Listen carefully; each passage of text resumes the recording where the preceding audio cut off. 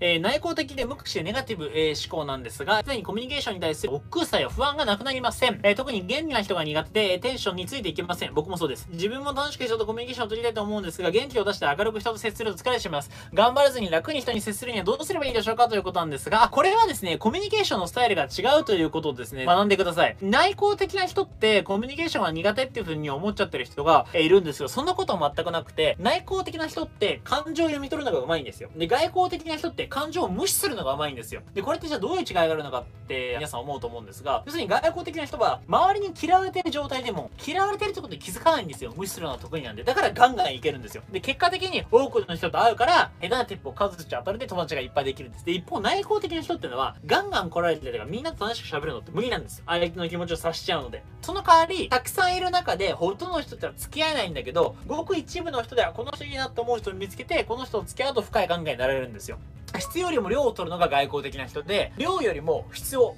取るのが内向的な人なんですよ。コミュニケーションスタイルが違うんです。ここを極めてあげればいいわけなんです。で、これを学ぶために一番いい本っていうのが、スーザン・ケインさんっていう先生がいて、内向的な人間に関する研究をしてる先生がいます。で、内向型人間が無理せず幸せになる唯一の方法という本があります。これ読んでみてください。内向的な人がコミュニケーション能力を高める、あるいは上手に喋るようになる方法まで全部扱ってくれてるので、この本が一番内向型の人に対してはベストな本になると思います。はい。